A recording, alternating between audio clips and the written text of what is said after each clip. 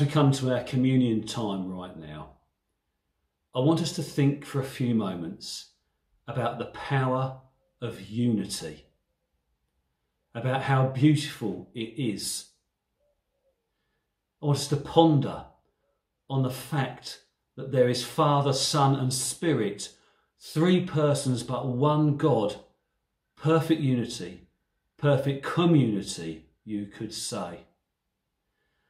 So, I want to say to us today that it is so important that we think in terms of the beauty of being a one people under one God.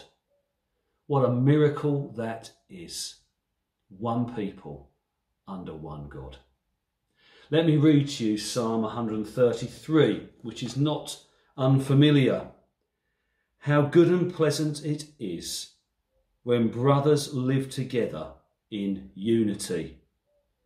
It is like precious oil poured on the head, running down on the beard, running down on Aaron's beard, down upon the collar of his robes. It is as if the dew of Hermon were falling on Mount Zion, for there the Lord bestows his blessing, even life for evermore graphic images. Mount Hermon, obviously pretty much generally a dry place, but then suddenly the dews come and the dew is moving and pouring forth, fertilizing and making green all the areas around it. And the oil, of course, to do with Aaron, the priest, oil, anointing oil, the Holy Spirit as a symbol of being poured out dripping down. That's the kind of thing that comes with true unity. And today, let us be a people who love our God together. Come, let us exalt his name together, for he is great and greatly to be praised. Let's take our communion together, shall we? On the night Jesus betrayed, he took bread and he broke it and said, This is my body broken for you. Eat this in memory of me. And as we do this, let us remember we're doing it with many other people, all at the same time, our brothers and sisters in Christ. One people under one God.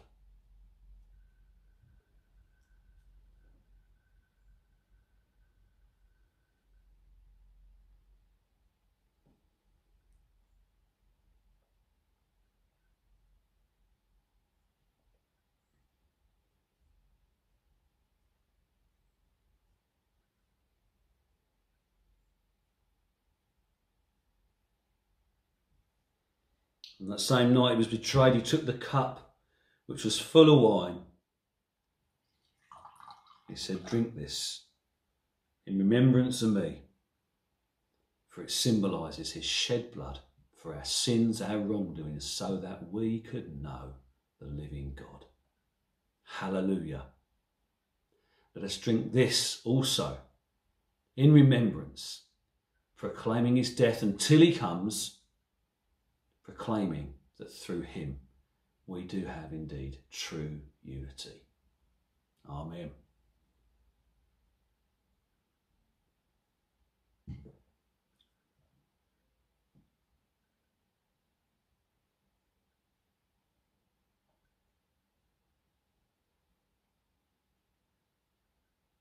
Thank you, Father, for your great gift to us through your Son.